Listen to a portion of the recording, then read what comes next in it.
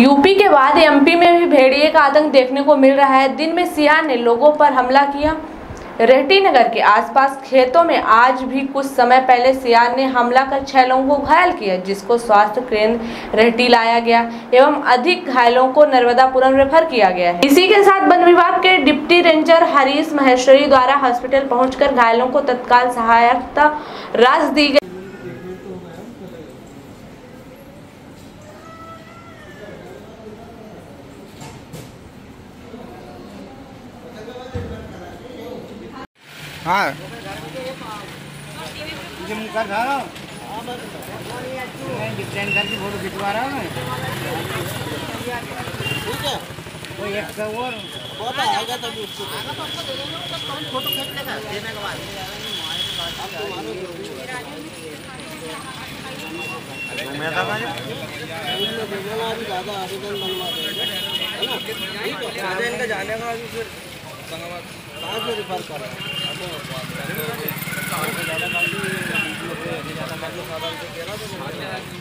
क्या नाम है तुम्हारा? कहाँ हमला हुआ आपके ऊपर घर पे।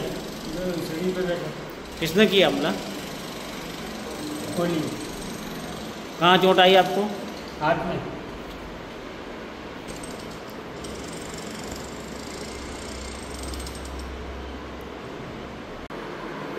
आज अभी ये सुबह क्या घटना हुई सियार के हमले वाली?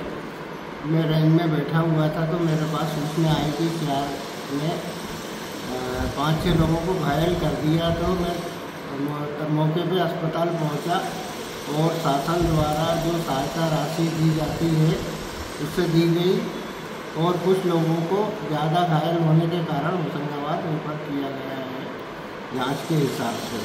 तो इसको क्या देसी भाषा में सियार या कोयला क्या बोला जाता यार और कोलिया दोनों बोलते हैं। सर्व सुविधा युक्त नेशनल हॉस्पिटल समान तिराहा रीवा में।